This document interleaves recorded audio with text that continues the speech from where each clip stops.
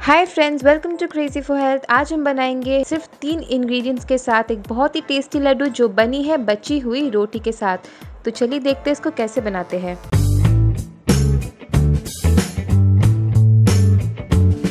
सबसे पहले मैंने यहाँ पे ले लिया है रोटी जो मेरे घर पे बच गई थी तो मैंने यहाँ पे तीन रोटी लिया है।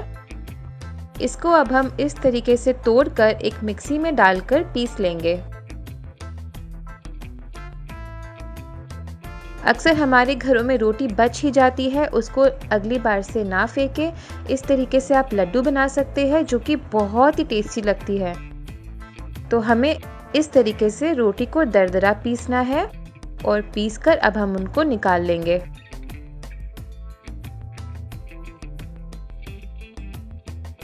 इस लड्डू में आपको चीनी की भी ज़रूरत नहीं है। तो अब एक पैन लेंगे, उसमें हम डालेंगे हल्का सा घी। और घी को गर्म कर लेंगे।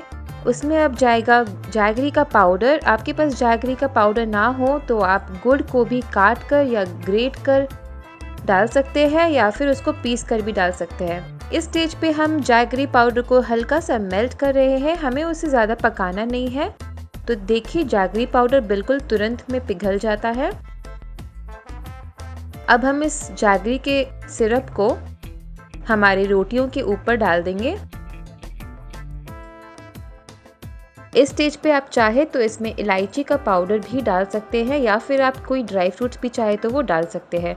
मैं इसको पसंद करती हूँ इसी तरीके से क्योंकि ये बहुत टेस्टी लगती है। इसमें हमें कोई मेहनत नहीं है तो घर पे जब अगली बार रोटियाँ बच जाए तो इस रेसिपी को ज़रूर ट्राई कीजिए। रोटियाँ बच नहीं भी जाए तो आप एक्स्ट्रा रोटी भी बना सकते हैं क्योंकि ये जो लड्डू है ये परफेक्ट डेजर्ट का काम करती है। इसको आप फ्रिज पे रख कर दो दिन के लिए रख भी सकते हैं। तो लीजिए हमारा मिक्सचर अच्छे से हमने मिक्स कर लिया है और ये परफेक्ट कंसिस्टेंसी में आ गया है। तो इस तरीके से हमने इसके लड्डू बना लिए हैं। इस रेसिपी में हमें ना चीनी चाहिए, ना ज़्यादा घी चाहिए और इसका बेस्ट पार्ट ये है कि ये बहुत ही जल्दी बन जाती है और ये खाने में बहुत ही टेस्टी लगती है। तो इस लड्डू को अपने घर पे अगली बार ज़रूर बनाइए और मुझे अपने फीडबैक शेयर करिए। मैं यहाँ पे ऊपर से एक एक काजू का टुकड़ा से गार्निश कर रही हूँ। आप इसको कैसे भी गार्निश कर सकते हैं। और लीजिए, हमारा बचा हुआ रोटी का लड्डू बनके बिल्कुल रेडी है। बिल्कुल मॉइस्ट होता है ये खाने में, इसको आप ज़रूर ट्राई कीजिए। और मुझे बताइए कि आपको कैसी लगी।